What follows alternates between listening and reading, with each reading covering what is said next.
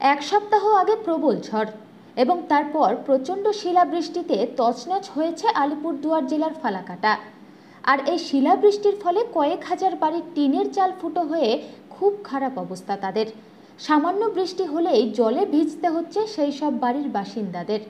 ত্রাণ নিয়ে দুর্যোগে বিধ্বস্ত মানুষদের পাশে দাঁড়িয়েছে জেলা প্রশাসন ও শাসক দল তৃণমূল কংগ্রেস। ইতিমধ্যেই দু দফায় ফালাকাটার প্রচুর ত্রাণ নিয়ে পৌঁছে স্থানীয় দলীয় কর্মীদের হাতে তুলে দিয়েছেন জেলা তৃণমূল সভাপতি প্রকাশচিক বড়াইক এবং সেই ত্রাণ সময় মতো পেয়ে খুশি ক্ষতিগ্রস্ত মানুষেরা। কিন্তু এত বড় দুর্যোগের পর ফালাকাটা একটি বারের জন্য পা পড়েনি আলিপুরদুয়ারের সাংসদ তথা কেন্দ্রীয় প্রতিমন্ত্রী জন বার্লার। পাশাপাশি এ বিষয়ে ফালাকাটার বিজেপি বিধায়ক দীপক বর্মনের দিকেও আঙুল উঠেছে। আর সমস্ত বিষয় দেখে ফালাকাটা ব্লক যুব তৃণমূলের পক্ষ থেকে রবিবার ফালাকাটা থানায় স্থানীয় সাংসদ তথা কেন্দ্রীয় প্রতিমন্ত্রী জন বার্লা ও ফালাকাটার বিধায়ক দীপক বর্মনের নামে নিখোঁজ সংক্রান্ত ডায়েরি করা হয়। এই জবাব তুমি দেবে না। নিস্তার পাবে না। মানুষের আঠেরো তারিখ ফালাকাটায় ব্যাপক পরিমাণে একটা শিলাবৃষ্টি হয়। ফালাকাটার একটা টিনের বাড়ি ঠিক নেই প্রায় সাত হাজার বাড়ি ক্ষতিগ্রস্ত হয়েছে।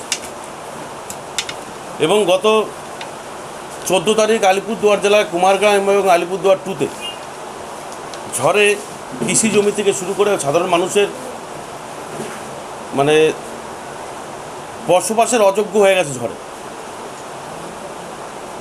ভালাকাটা বিধানসভা নির্বাচনে বিধায়ক নির্বাচিত হয়েছেন দীপক বর্মন এবং আলিপুরদুয়ার লোকসভা কেন্দ্রে নির্বাচিত হয়েছেন মাননীয় সাংসদ জন বার্লো মহাশয়। আমরা সাংসদ মহাশয়কে নির্বাচনের পরে ফালাকাটাতে আমরা দেখতে পাইনি। এখন পর্যন্ত আমরা খুঁজে পাচ্ছি না তিনি কোথায় আছে মানুষ এতটা দুর্ভোগ ফালাকাটার মানুষ জানতে চায়। সাংসদ এবং বিধায়ক, তারা কোথায় আছেন? শুনলাম আজকে তৃণমূল যুব কংগ্রেসের পক্ষ থেকে একটি এরকম কর্মসূচি নেওয়া হয়েছে, আমাকে নাকি দেখা যাচ্ছে কিন্তু আমি ফালাকাটাতেই আছি। এবং বরাবরই আমি ফালাকাটাতেই থাকি। কখনো সখনো কলকাতা যাই বটে। এবং দুর্ভাগ্যজনকভাবে যেদিন ঝড় হয়েছে সেদিন আমি কলকাতায় ছিলাম। তার অপবহিত পরেই আমি দ্রুততার সঙ্গে ফালাকাটায় ফিরে আসি। বিভিন্ন ওয়ার্ডে আমি যাই এবং সাধারণ মানুষের খোঁজখবর নেই। এবং আমাদের সামর্থ্য অনুযায়ী আমরা সহযোগিতা করি।